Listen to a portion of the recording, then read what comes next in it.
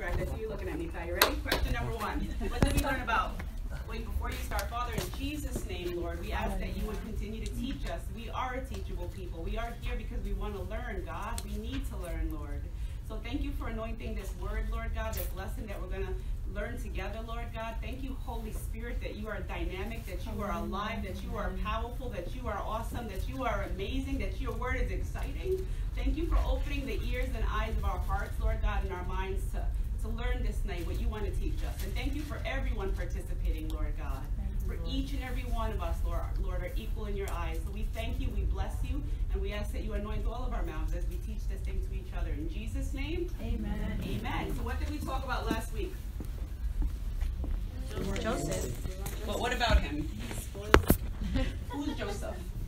He's the 12th son of Isaac. Anybody want to give it a shot? A good, good start, sister. Amen. Talks about Joseph, Okay, what about him?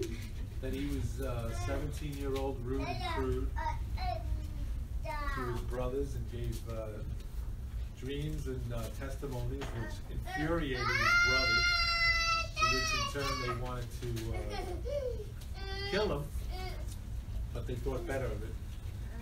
He was also the favorite of his father, and his father bestowed on him the multicolored coat. Amen. So, who is his father? Who is Joseph's father? Where are we in the Bible?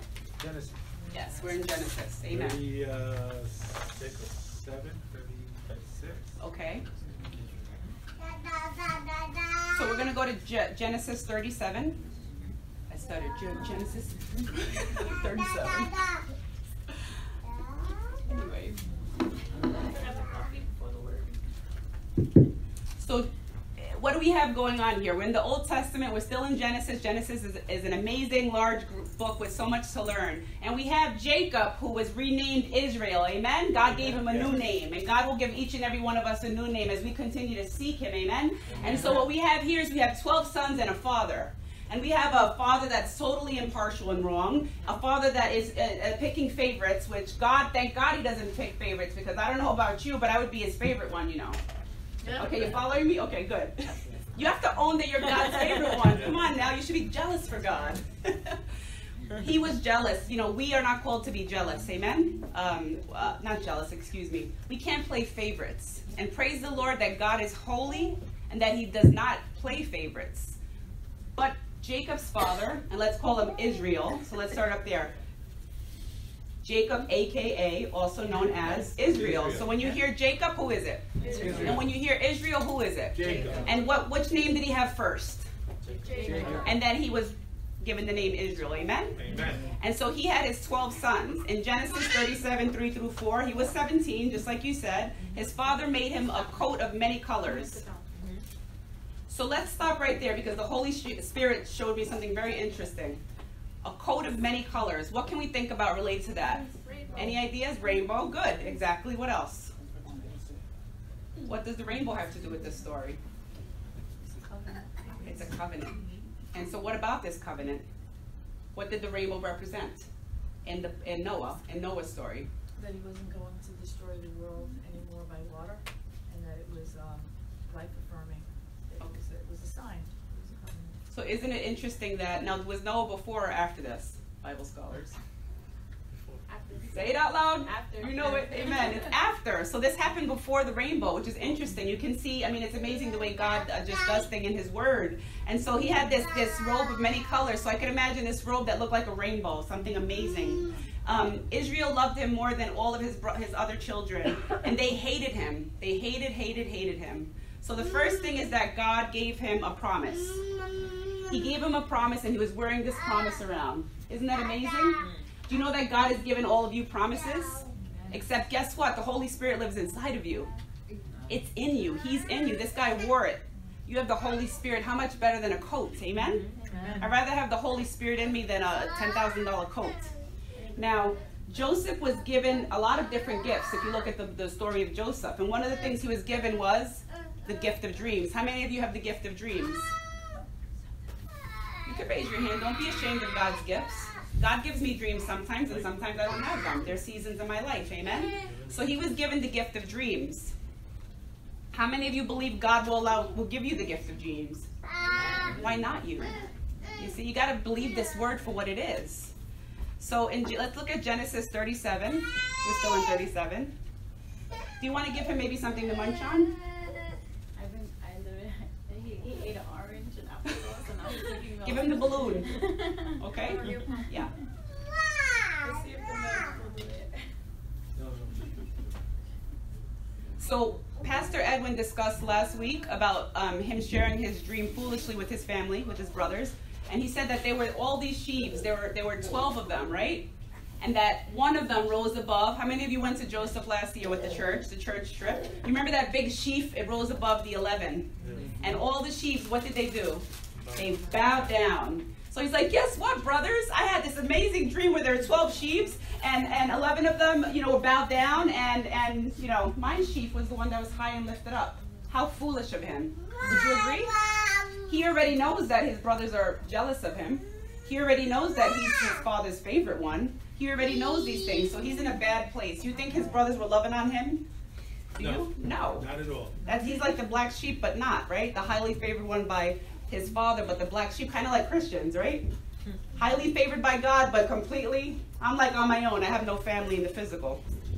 Like physical, besides my children, I'm on my own. You won't see my family like rarely. It's nothing against them, but I'm highly favored and, and I'm God's daughter, but I'm the black sheep because I serve God. Amen.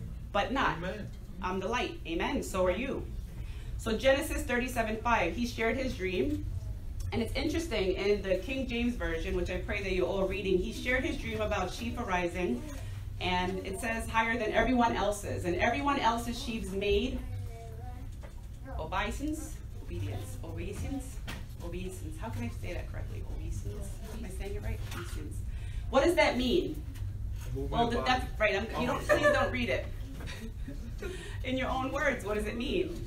We think of obedience when you obey somebody. If you look right up there, you're going to see what I'm talking about. Right up there. O B E I S A N C E.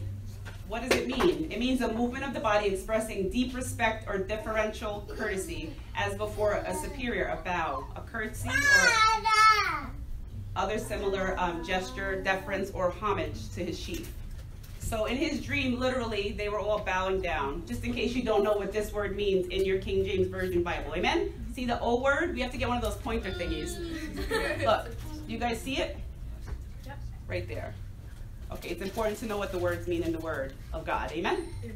So, Genesis 37, 9 through 11. Now, I'm going to do a lot of paraphrasing because this is, you will be here until tomorrow, which we won't, I promise. okay? Genesis 37, 9 through 11. So, he has another dream. Did we talk about the second dream that he had last week? Did we, sisters and brothers who were here? Yes. We did. Another dream where the sun, the moon, and the 11 stars did the same thing. They bowed down to him. Now, he shared this dream with, am I talking too fast or are we okay? He shared this dream with his father and with his brothers. And this time it was handled a little bit differently. So in Genesis 37:10, and he told it to his father and to his brethren, and his father rebuked him and said unto him, What is this dream that thou hast dreamed? Shall I and thy mother and thy brethren indeed come to bow down ourselves to thee, to the earth? And his brother envied him, but his father observed the saying. What does that mean if you haven't read ahead? What does observe the saying mean? It says his brothers basically envied him, they were jealous, but his father observed the saying. What does that mean? What, what was he doing when he observed the saying? Here's your kid saying, Oh, I had this dream, and basically I'm, a, I'm, I'm above and high and lifted up above all of you, including mommy, daddy. What do you say to that, parents? What do you say? This is the interactive How part. dare. How dare you? Why? The home makes it- My son, it's, we'll put you ahead of me. I am the head of the family. I am the one that's supposed to receive the prize. Any other thoughts if your children told you a dream like this? And you know that they were seeking after God? Humble yourself. I'm sorry? Humble yourself. Humble, like the parent or the child? The Child. Okay, humble yourself. All right. Anyone else? Maybe, maybe God chose him for something. God chose who? Um, Joseph, um, yeah, Joseph. So you would think that maybe God chose your child for Because if something? He's after God and he's having dreams. Yeah. Amen. We have a lot of insecure parents in the body of Christ, huh? Truly. I'm not judging anybody here. This is not a judgment call against you. I'm just saying, like, it's because our flesh, like, we got to die to this flesh every day, right? Because this flesh says, Who do you think you are? You think you're better than me? You think you know more than me? You know, why did he rebuke him? Shouldn't we encourage the dreams that God give us, gives us? Should we? I would be excited if my if God started giving my children dreams. I would be like, tell me all about it and take notes. And I would pray for that those dreams would come to pass. Amen. See, we, we got to stop thinking the way that the world thinks because we're not of this world. We're passing through this world. Amen. Amen. And so God may ha- may say something to your child, your spouse, whoever, and you may be like, they're out of their mind. That's your flesh rising up. You know, that's when we need to stand on Proverbs 15 and be slow to speak and quick to listen, and in all things to answer softly, because a soft answer turns away wrath. Amen. Amen. Because if God said it, it will come to pass. Amen. And if it's man coming, uh, we- there's a lot of people who are full of stuff. Full of stuff. Stuff. How many people? I mean, come on now. You all have been in different churches. You ever hear some people who just go on and on, and you never see any fruit? Nothing ever is produced. If you if you're sharing a lot of stuff and there's nothing being produced, but then what is what are you producing? Nothingness. And what does nothingness produce? Nothing. Am I making sense? Yes. So it, it, if truly, if God has spoken something over our lives, then it should come to pass. Amen? And we should pray for one another if we happen to share it. The point is, he shouldn't have shared the dreams the way that he did. So his father was right in rebuking him. So to get back to the question I asked you, the, the observing of the saying, I didn't quite understand it myself when I was doing this study. Jacob at first he didn't appreciate his son's dreams any more than Joseph's brothers did.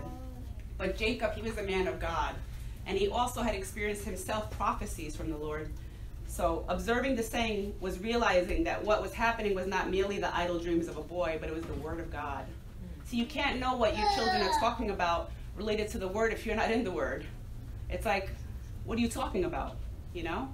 Like I'm not gonna have somebody come and minister to me where you don't read the word, you don't pray, you don't worship, and you want to you want to interpret the scriptures for me. I don't think so. I, I don't. I, no, thank you.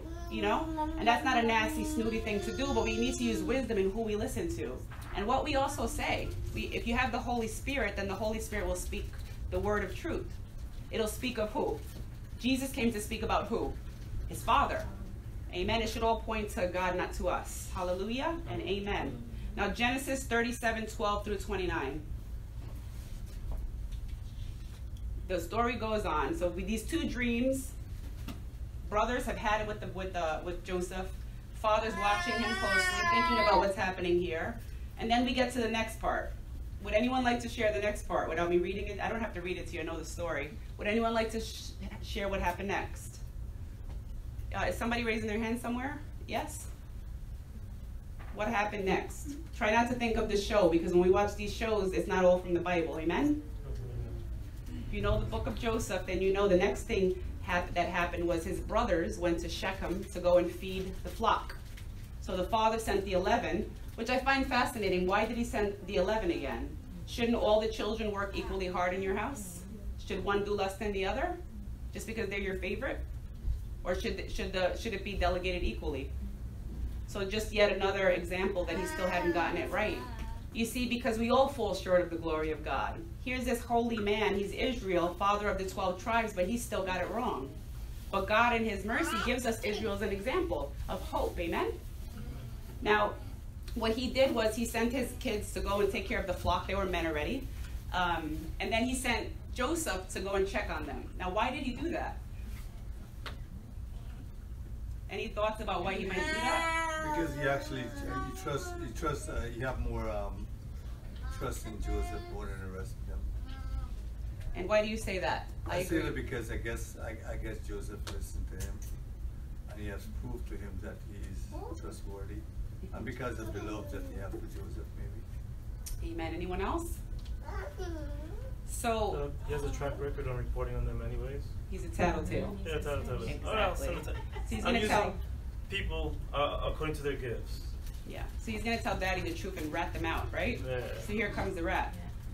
All right. Don't be the rat. Don't be a tattletale. Somebody's doing something, pray for them. Amen. Don't go and tell the world. Amen. Because you're judging them. And there's only one judge, and that's the righteous judge. Amen? Now, Genesis 37 12 through 29 talks about this. So he went to Shechem, basically. Again, paraphrasing, it's all in your word. And they weren't there. Surprise! They weren't doing what they were supposed to be doing. So where were they? They were in Do- Dothan, and um, he found out where on the street was or in the field was that he wasn't that they were there. So he went to go see what they were up to. Amen. Would you have gone to go and see what your brothers were up to at that point, or would you have turned away? What do you think, anyone? I probably just would've went back. Why? And, and, because I, I don't wanna, I don't want them to catch me spying on them, I guess. Amen. I would have went back as well, cause it's like if they're not there doing what they're supposed to be doing, what, I'm gonna go and get caught up in what they're doing. I Okay. don't want that to happen. Amen. Yeah. I wouldn't went to them to see what's wrong. You would have went. To, okay. Anyone else? He's the only one that really concerned with father well. He's the only one concerned with what his father Mostly wants. concerned about his father mm-hmm. well, so I, I guess, I, I guess he had to do because they were so, so bitter because his father concentrated on him more than the rest of them, so i does that's boys up with, i- i- because he probably figured i- is that they, they didn't like him anyway. So, so that's why he more interested in his father well-being, I guess. Thank you. Anyone else?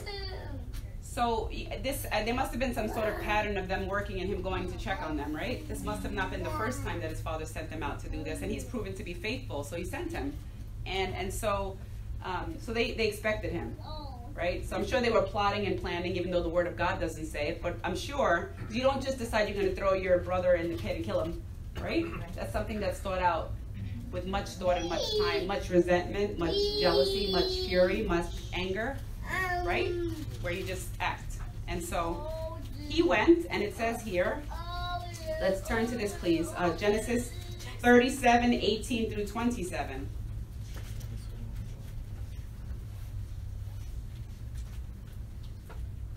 When God calls us to do something, we need to do it. Don't get off track. God trusts each and every one of us with tasks, different tasks at different times, and we need to be about our Father's business and do what He says. Amen? Don't get sidetracked by your brother, your sister, anyone, your parents. Um, Genesis 37, 18 through 27. And when they saw him afar off, now this is talking about the, his brothers, even before he came near unto them, they conspired against him to slay him, kill him. And they said one to another, Behold, this dreamer cometh. Come now, therefore, and let us slay him, and cast him into some pit. And we will say, Some evil beast hath devoured him, and we shall see what will become of his dreams. Hmm. And Reuben heard it, and he delivered him out of their hands, and said, Let us not kill him. By the way, Reuben's the oldest brother. And Reuben said unto them, Shed no blood, but cast him into this pit that is in the wilderness, and lay no hand upon him, that he might rid him of out of their hands to deliver him to his father again. And it came to pass when Joseph was come unto his brethren, that they stripped Joseph out of his coat, his coat of many colors that was on him. And they took him and they cast him into a pit, and the pit was empty, and there was no water in it.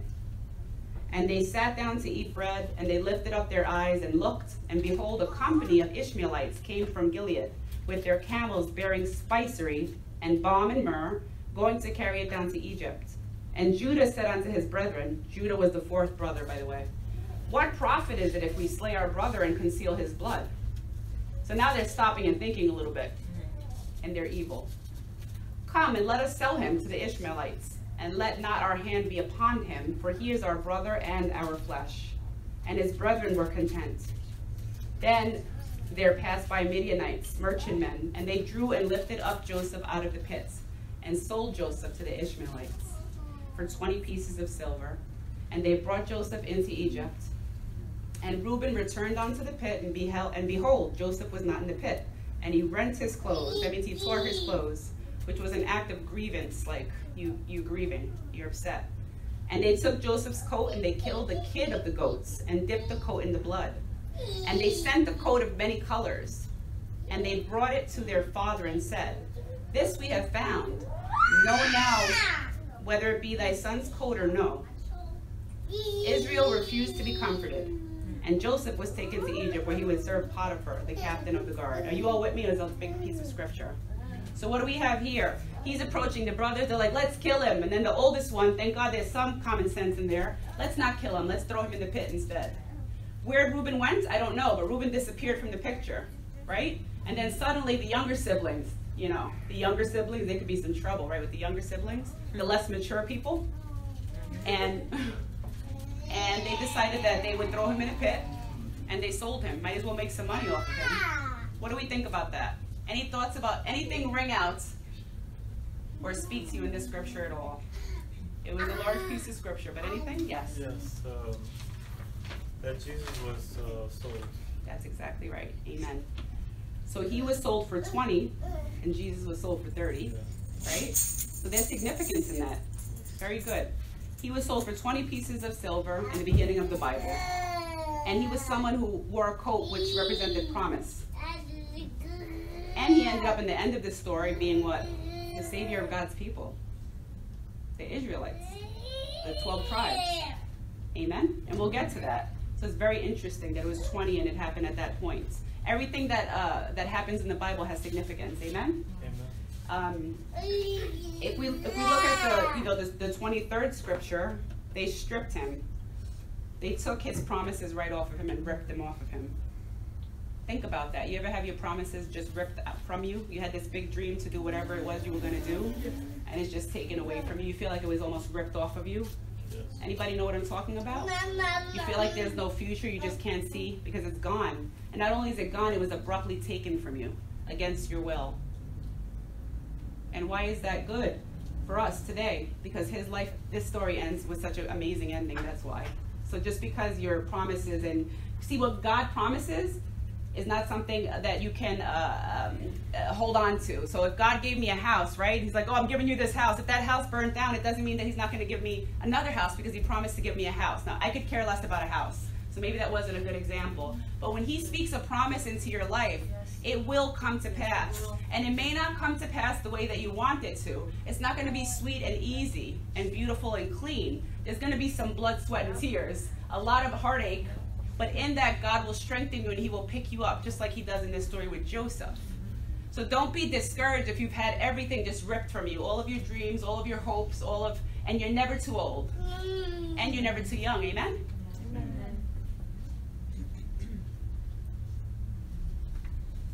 Now, Israel, when they went back to give him um, the coat, it says that he was not comforted. He didn't want anybody touching him. You ever lose somebody? Like, don't touch me. My father died. I didn't want anybody near me.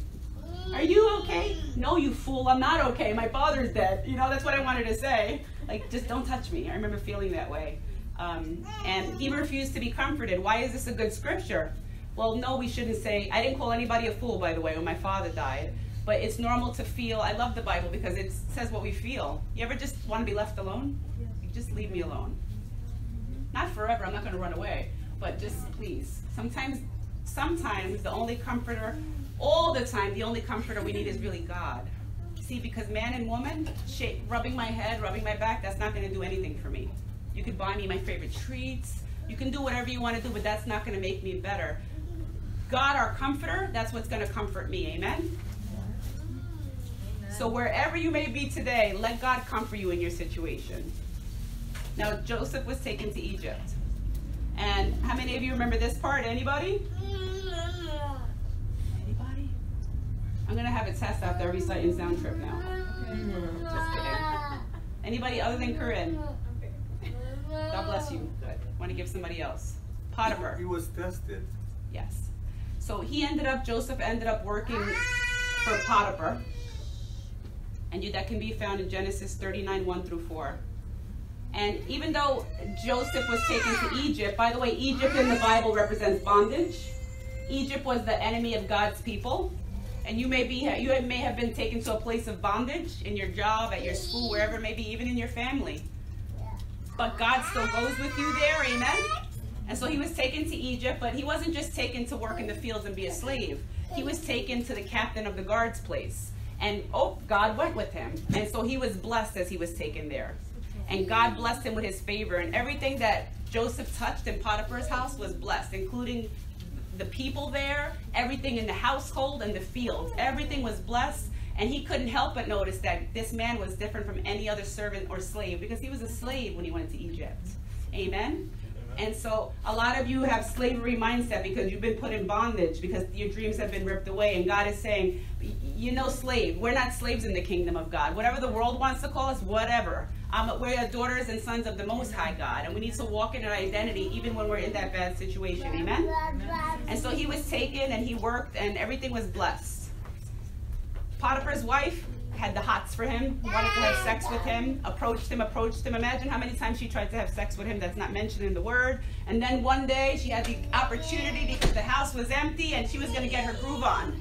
And so she went after him and she just knew like she knew like she knew. You know, like all of these celebrities in California, in Hollywood, that they knew, like they knew that they knew that they were going to get their way with all those people that they molested and raped. Think about that he, she had the power and influence just like, and it's terrible. We need to pray for the victims, amen, and for the people who committed these crimes against all of these women. You know what I'm talking about? Well, she had power and influence just like the people in, uh, you know, celebrities. And she had all these people at her disposal. And she approached him and he basically said, I'm not going to do it. I can't do this to your master. So, again, I'm, I'm just trying to condense it so we can get through the scripture. Amen? Amen. Genesis 39, 7 through 20 discusses when Potiphar approaches. She grabs his coat, his garments. She holds on to it. He leaves. He runs out. She screams and screams and says basically that she was raped. Right?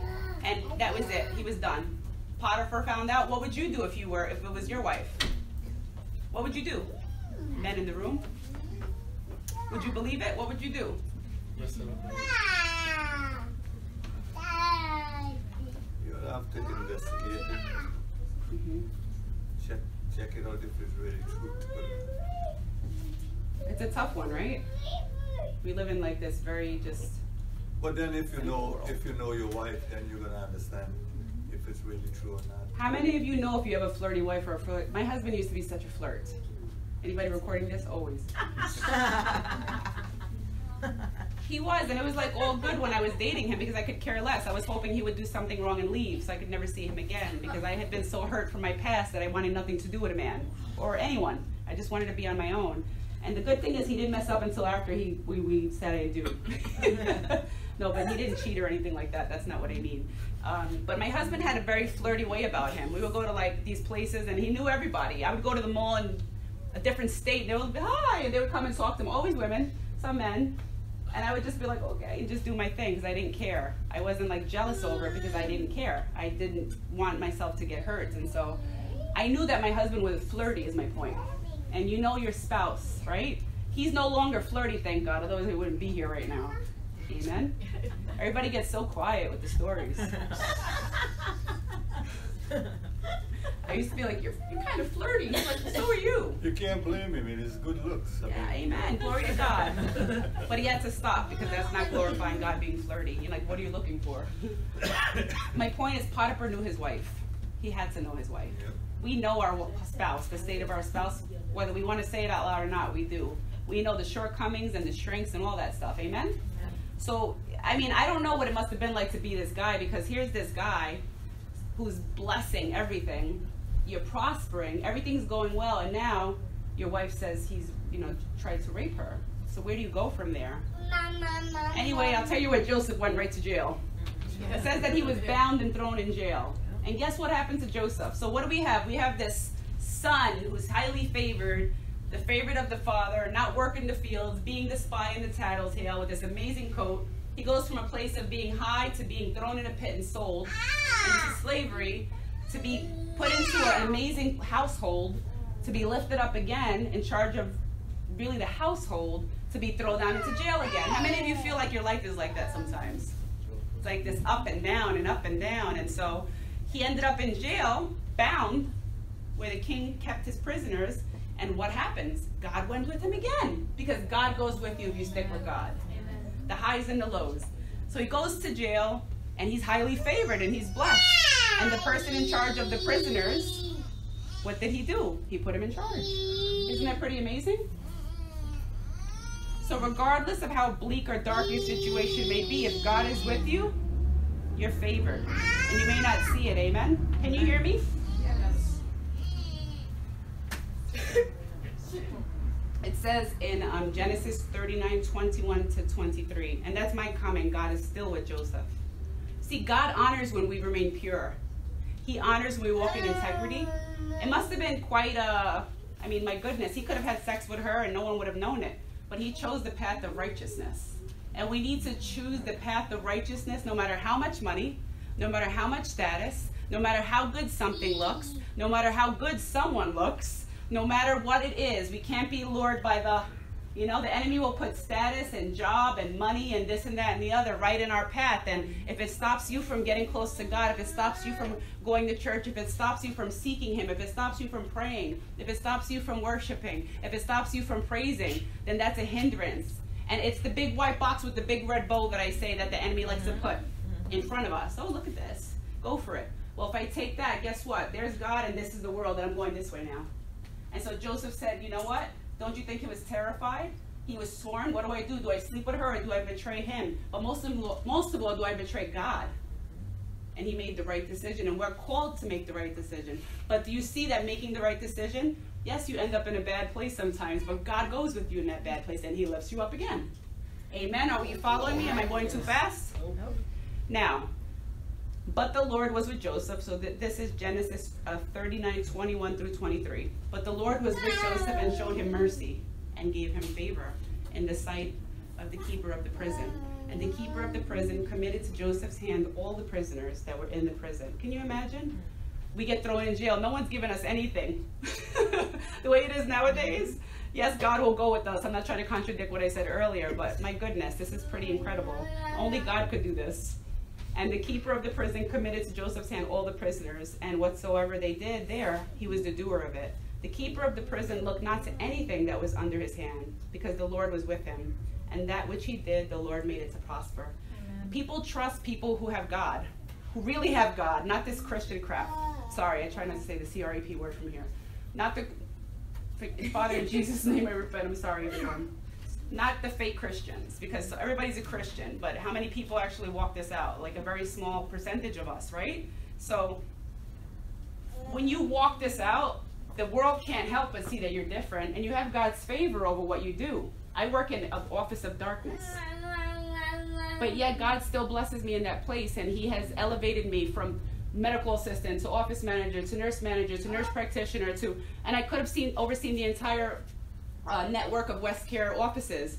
Why? Not because I'm anything good, I'm not, seriously, but because God is with me and I continue to seek Him. And I didn't let position, money, status, whatever, I didn't let it get in my way along the path.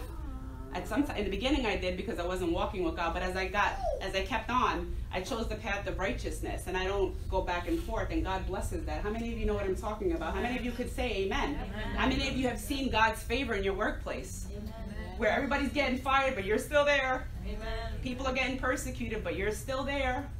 Amen. God will make a way, but you have to walk this out and know that it has eternal um, gifts, right? It's eternity. Hallelujah. So he went with him there, and he made him to prosper in jail. So even though he was in bondage, he was still used. And now he was given another dream. So we said what? He was favored he was um, his father's favorite. He was blessed. He was all these things. He had dreams, but now he had the gift of interpreting dreams. How many of you interpret dreams? Anybody? That's pretty cool. I don't interpret dreams. I mean, sometimes I get clues here and there. But what does it go to show you? Is God going to give you a gift if you're not seeking Him? Is He? Is God going to use you if you're not doing work on your part? Is God going to say anything to you to give to anybody else if you're not even spending any time with him or putting him first. No, no, and no. We this all reflects the fact that Joseph was still seeking God in the midst of the turmoil. That Joseph didn't give up when he felt when nothing looked good, when he was in darkness, when he was bound, when he was in prison, when he was accused of sleeping with someone he didn't sleep with. You ever get wronged? You try to do the right thing and you get wronged? You know, the big screw, I won't say ED, but you know, when you really like, uh, great, I'm getting stabbed in the back, everything is going wrong, and I just try to do the right thing. That ever happened to you? This was our Joseph. And so, in the midst of all of it, he didn't turn to wickedness. And this is where we can do all things through Christ who strengthens us, because in there, he didn't know Jesus yet, but he knew God. And he, he knew God well enough to know that God was real and that God was moving on his behalf. What do you have in prison? A whole lot of time. I haven't been there, but I'm sure a whole lot of time to think about everything that's happened. What else do you have? And he saw God continuing to move, and he didn't give up. And a lot of you have given up. Many of us have given up and got back on that horse. and you give up and you get back and you give up and you get back. And God is saying, I don't want you to give up ever again. Because I am the same yesterday, today, and forever. And my promises are yes and amen. And my promises, they stand true and they don't change. You see, with all the storms and all the chaos and everything that Pastor was talking about last weekend with the hurricanes and this, that, and the other, God is not moved by any of it. Are you? You shouldn't be. Because if Christ is the rock, like we were praying earlier, then we shouldn't be moved by the situations around us. Not even the ones in our face, like this. Amen? So now he was given the gift to interpret dreams. So ha- that happened in jail. So good things can happen in bad places to followers of Christ. Amen? What happened here? This is a very interesting story. There he is in jail, and two people get thrown in jail at the same time. The royal butler. Do you know who the royal butler was? He was the king's butler, but he also would taste uh, whatever would be given to the king. Because if it was poison, he would die for him. Would you like that job? Not me. Throw me in the dungeon. I'm not dying for you. I'll die for God, but that's about it. You know, like he got thrown in jail. It says that basically Potiphar was um, displeased with him. Not Potiphar, the king, um, Pharaoh. And then at the same time, at the same exact time, he must have been in a bad mood or had a fight with his wife or something. It says that the chief baker was also thrown in jail at the same time. So there they are, they're thrown in jail. They're stressed out. They're used to being in this high position. That ever happens to you when you're in a high position and then you get yanked out and now you're back to square one again after you've made all this progress? So frustrating. So there these people were, but they didn't have God. Can you imagine going through all these trials that Joseph went through without God? Well, you can because I have. I've gone through trials in my life without God, and I never want to go through trials without Him ever again. Amen. Amen. Because He is the one that sustains us if we let Him. So they're in jail. They're scared. They don't know what's going to happen. They both have dreams. And they had these dreams, and they didn't understand the dreams. And if we look at Genesis 40, 1.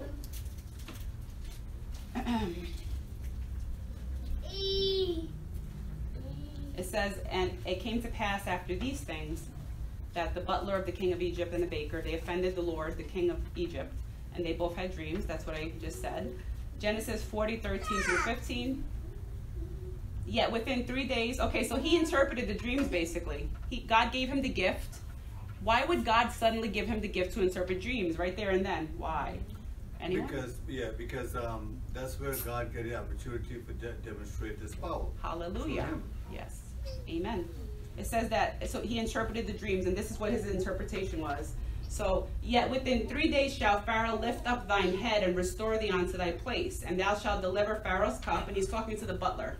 Okay, remember I said he holds the cup, he drinks from the cup. If it has poison, he dies, not Pharaoh. He's talking to the butler. You, and thou shalt deliver Pharaoh's cup into his hand after the former manner when thou was his butler. He, but then he goes on to say to him, But think on me when it shall be well with thee, and show and shew kindness. I pray thee unto me, and make mention of me unto Pharaoh, and bring me out of this house. So he's saying to the butler, In three days, basically, you're going to be restored to your old job. But remember me. You following me? 15. For indeed I was stolen away out of the land of the Hebrews, and here also have I done nothing that they should put me into this dungeon. So now only now he's asking a man for help and he's complaining. Do you see the complaining? Mm-hmm. Do you ever complain because something's unjust? Does it ever produce anything good? It never does.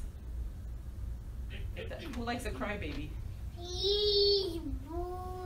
No one, right? You ever want to hear somebody? Com- you ever have that person that complains all the time? They just don't have anything good to say ever. Yeah, yeah, yeah, yeah, yeah, yeah, yeah. It's like okay, it's good to be alive. Breath of life in your lungs. it's like no.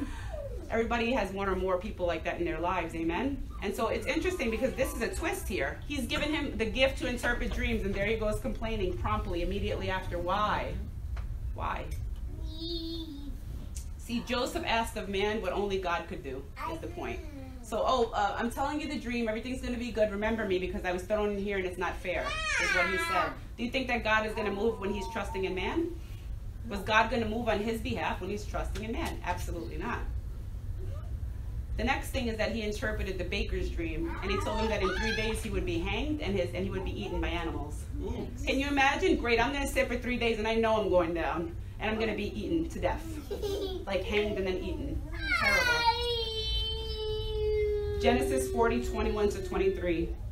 And he restored the chief butler onto his butlership again, and he and he gave the cup into Pharaoh's hand. But he hanged the chief baker as Joseph had interpreted to them.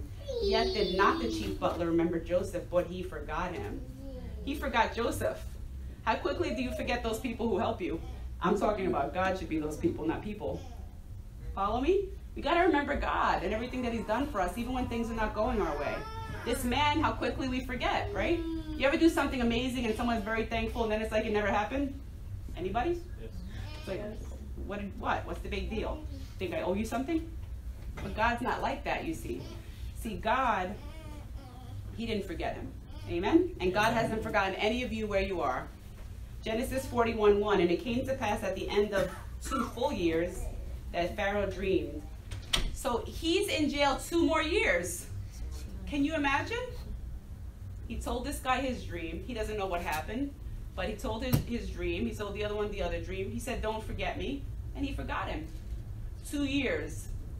Two years after he complained and trusted man. How long are you waiting for your promise to come forth because you're trusting man or woman and you're complaining in your situation? Anybody hearing me here? It doesn't produce anything good. It delays your blessing. Complaining delays your blessing. Trusting in man delays your blessing. Because man will always fail us. And woman. Not because we're mean and nasty, but because we're not God. And we're not perfect. Amen? Genesis 41, 8 through 16 says basically that Pharaoh, the king of Egypt now, he had, guess what he had? A dream. And he, he, this dream drove him up the wall. He didn't know what on earth this dream meant, what was going on in this dream. So in this scripture here, 41, 8 through 16, it says, And it came to pass in the morning that his spirit was troubled, and he sent and called for all the magicians of Egypt, and all the wise men thereof. And Pharaoh told them his dream, but there was none that could interpret them unto Pharaoh. Then, then finally the butler remembered. Then spake the chief butler unto Pharaoh, saying, I do remember my faults this day. Pharaoh was wroth with his servants and put me in ward, and captain of the guard's house, both me and the chief baker. And we dreamed the dream in one night, said I and he. We dreamed each man according to the interpretation of his dream. And there was with us a young man at Hebrew, captain, ser- uh, servant to the captain of the guard. And we told him, and he interpreted to us our dreams. To each man according to his dream, he did interpret. And it came to pass as he interpreted to us, so it was. Me he restored unto mine office, and him he hanged. Then Pharaoh sent and called Joseph, and they brought him hastily out of the dungeon. And he shaved himself and changed his raiment, and came in unto Pharaoh. And Pharaoh said unto Joseph, I have dreamed a dream, and there is none that can interpret it. And I have heard say of thee that thou canst understand a dream to interpret it. And Joseph answered Pharaoh, saying, It is not in me. God shall give Pharaoh an answer of peace. So he didn't try to answer for the dream. God gave him the answer, which would be peace. Amen? So he interpreted Pharaoh's dream, which was that, was that there was going to be seven years of famine, uh, of, of surplus, and then seven years of famine. Do you follow me? So it's interesting that God gave an Egyptian a dream, warning him of what was to come. Why did he do that?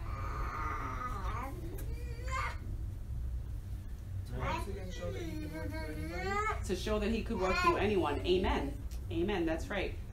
And it's for the bigger picture as well. So God gave Joseph wisdom and instructions as to how the Pharaoh should prepare. And in Genesis 41, 39 through 46, this all basically says that he, he said, okay, Joseph, you've interpreted the dreams. Now I'm going to have you basically, you're wise. And you know what you're talking about. I'm paraphrasing. So I'm going to put you in charge of planning for this time that we're going to have. Amen? And it says in 42 that Pharaoh took off his ring from his hand and put it on Joseph's hand, his hand. And now he arrayed him in vestures of fine linen. So he's dressed again, except now he's dressed with the enemy's clothing. And he put a gold chain about his neck. And he made him to ride in the second chariot which he had. And they cried before him, Bow the knee. And he made him ruler over all the land of Egypt. And Pharaoh said unto Joseph, I am Pharaoh, and without thee shall no man lift up his hand or foot in all the land of Egypt. And Pharaoh called Joseph's name Zaphnath-Paaneah, and he gave him to his wife Asenath, the daughter of Potipherah, priest of priest of On. And Joseph went out all over the land, and he was thirty years old when he stood before Pharaoh, king of Egypt. And he went out from the presence of the Pharaoh and went throughout all the land of Egypt. So a lot happened here. He interpreted his dream. He used God's gift that he's given him to interpret his dream. And in doing so, again, God lifted him, lifted him up out of jail now into the, my goodness, the palace. He was ruler. He was second in command, basically, in all of Egypt. And he was not Egyptian. He was an Israelite. Amen? And, and they look different. It's not like they look Egyptian. Amen? It's like me and whoever, the whitest person in here, the darkest person. We're not from the same, you know? God lifted Joseph up. He gave him divine favor and he prospered him, even though he was in bondage, wrongly accused, and in the hands of his enemy. And by the way, he gave him a wife and two children. Isn't that amazing? The first child, his name is Ephraim, which means, excuse me, Manasseh, which means, For God said, He hath made me forget all my toil and all my father's house. And then the second name was Ephraim, for God hath caused me to be fruitful in the land of my affliction. And he was made governor. We need to be careful about like it's too late for me because i already have my three kids but when i'm a grandmother we need to pray about our children's names because they have meaning and significance. People name their kids some crazy stuff nowadays. I mean i work in pediatrics so i see newborns all the way through 21 it's like some crazy crazy names and a lot of it just has no it either has bad meaning no meaning or just cuckoo. Mm. You know there's significance in the whole naming thing and what we have here is we have that Joseph was given a new name, but it was not from God. He was given a new name from the enemy. The, fan, the famine finally came to pass. So they had seven years of surplus, and they saved, saved, saved. He, he saved one fifth of everything, Joseph, amen? And when the famine hit, Egypt was okay, but the rest of the world was not okay. And guess who came around? The 11 hungry brothers. You know, people come around when they're broken hungry. Isn't it true? Yes. Yeah. Well, okay. Genesis 42 1. Now, when Jacob saw that there was corn in Egypt, Jacob said unto his sons, Now we're back to Israel, who is Jacob, who is Israel, right? Jacob is Israel, Israel is Jacob. Now, when Jacob saw that there was corn in Egypt, Jacob said unto his, his sons, Why do you look upon one another? Like, what are you doing sitting there? Go get some food. Can you imagine there's a famine and you have 11 strong men? What are you doing sitting there? Go and get some food, guys. Come on. So in Genesis 42, 2, to, 2 through 48, the 10 brothers went to Egypt to buy corn. Why only 10 brothers? Someone answer me, please. Uh, the, uh, yeah, sorry, there was another, they had another son, and he was another favorite of Jacob. Yep, and his name was Desiree. You, could you say his name? You said it. He kept Benjamin because Benjamin. That, that was the next one. Joseph was down. Right.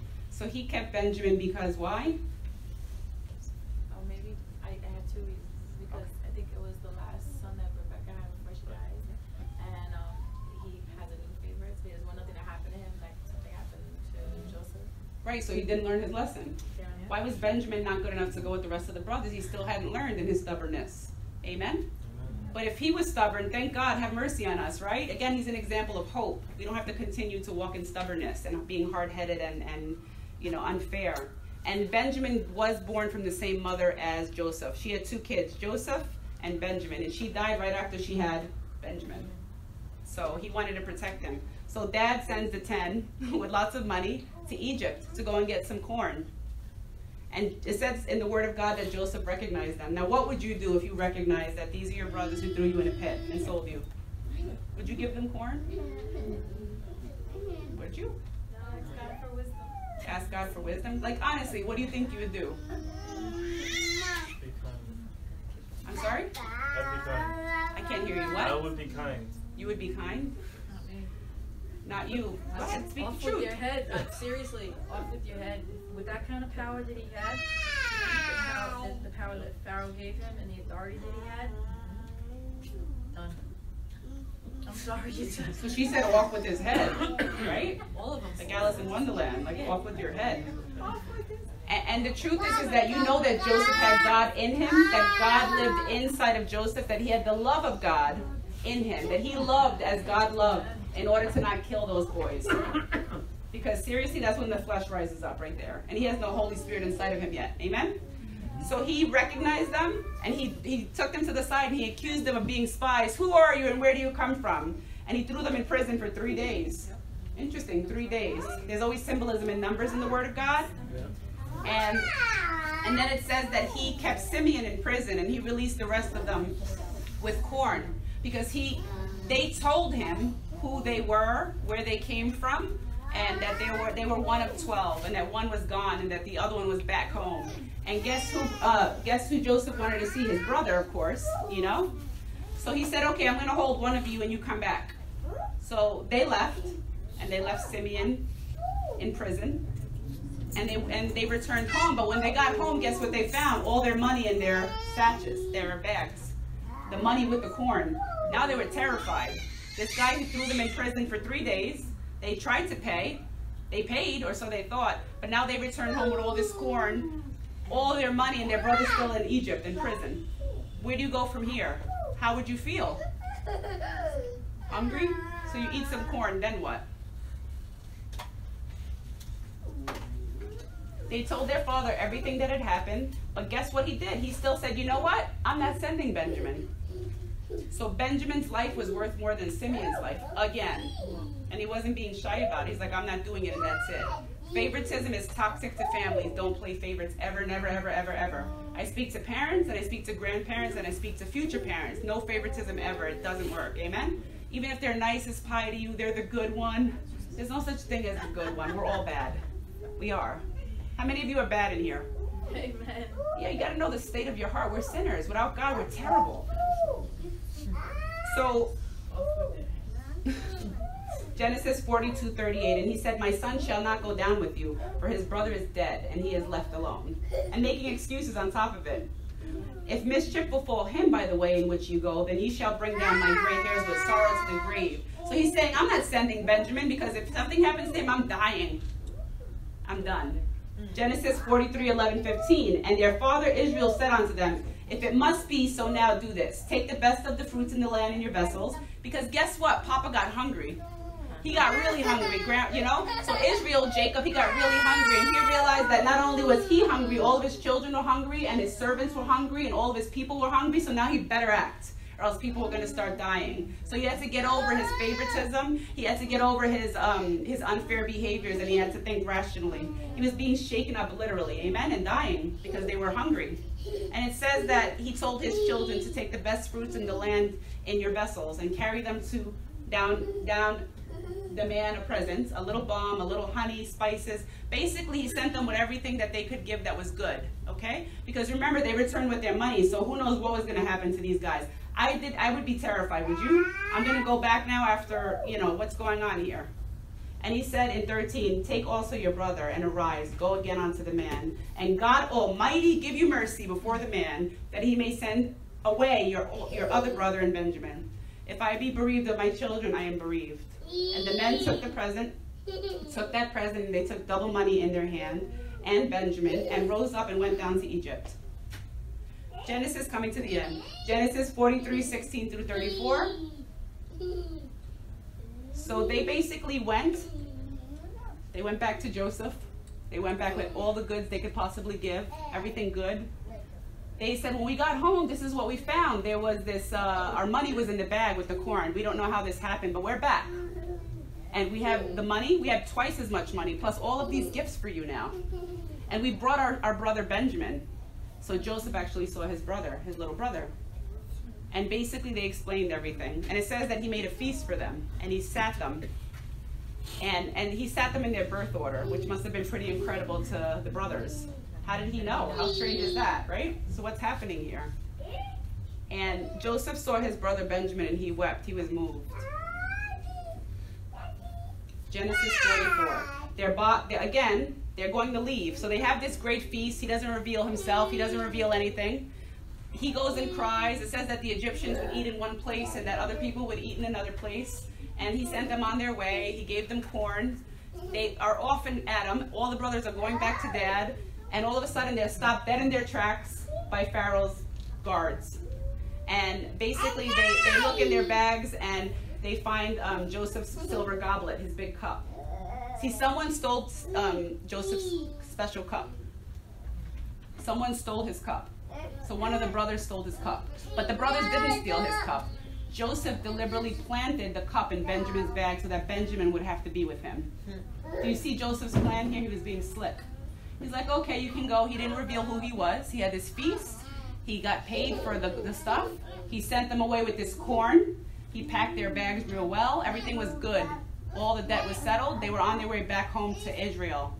Until it was all part of Joseph's plan. Joseph sent and said, basically, if any of you have the, the goblet, you're done. You're coming back with me. And it was Benjamin. Everybody following me? Sorry, it's just a lot. Genesis 45, 1 through 13. Then Joseph could not refrain himself before all of them that stood by him, and he cried, Cause every man to go out from me. And there stood no man with him, while Joseph made himself known to his brethren. So they basically all went back to the house, and he told them who he was. And he told them what he did, and he told them everything that he had been through, and he told them everything that God had delivered him from, and he told them and showed them God's mercy, God's favor, God's blessing throughout the entire story. And he said, Go and get dad and everybody else. You guys are coming to live with me. And they went and they told their father everything that had happened. And they basically said, Leave everything behind. He told them, Leave everything behind, just come and bring everybody with you. And he brought everyone, and they went and lived in, in, in Egypt.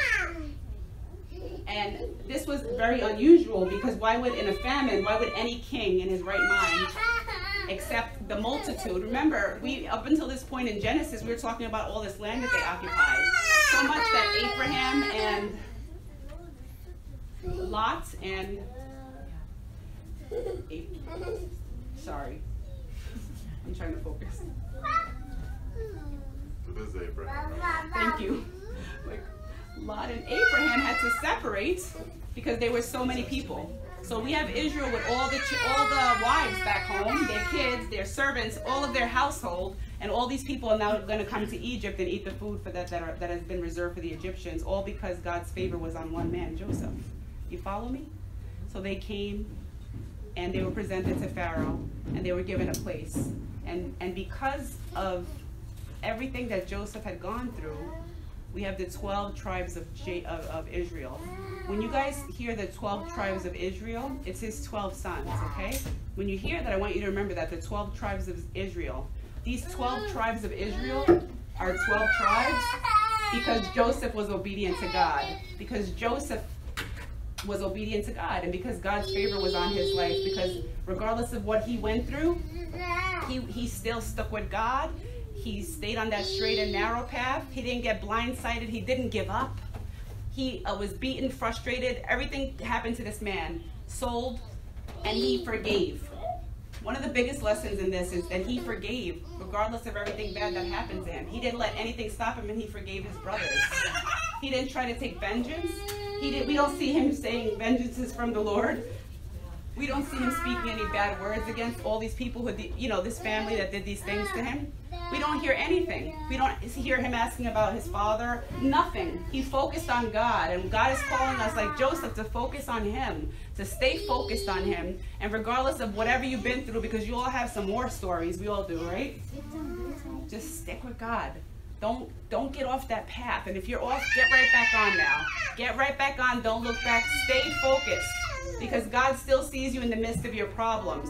God still sees you in your place of misery, agony, and pain. God even sees you when you separate yourself from Him. God sees you when you go to those places that you shouldn't go. God sees you when you say those things you shouldn't say. God sees you when you do those things that you shouldn't do. But God is faithful, and God sent Jesus to die for each and every one of us so that we wouldn't perish in our sin.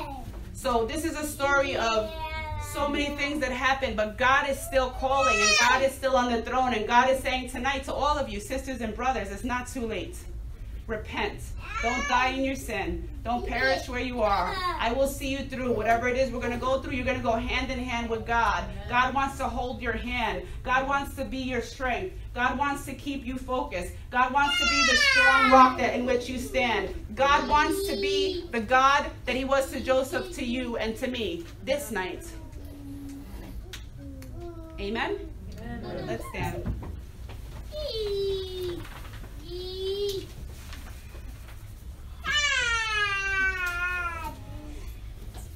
And God will use his use our enemies to bless us, just like he used Pharaoh.